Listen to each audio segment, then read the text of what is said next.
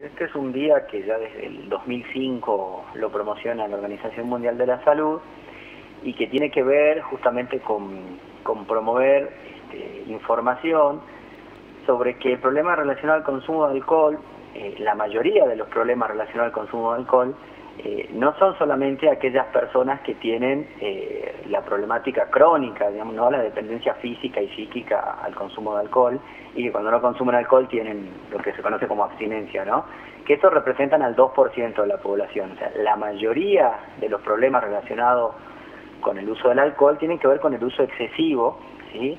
o el uso inapropiado del alcohol, es decir, lo lo relacionado a lo que es incidentología vial, que está relacionado en un 50%, lo que es relacionado a la violencia intradoméstica, eh, bueno, no lo que tiene que ver justamente o con eh, violencia en distintas situaciones.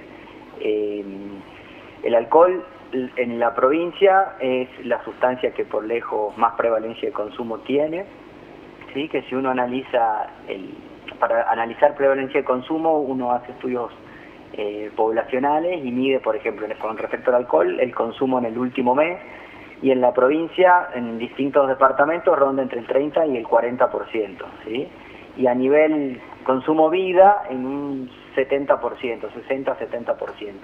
Similar a lo que ocurre en otros lugares del país, estamos hablando de una alta prevalencia. Lo que es llamativo y preocupante es que a lo largo de los últimos años, de los últimos 15 años, la edad de inicio de consumo ha ido bajando y hoy, hoy ronda el promedio de los 12 años, con rangos desde los 8 años.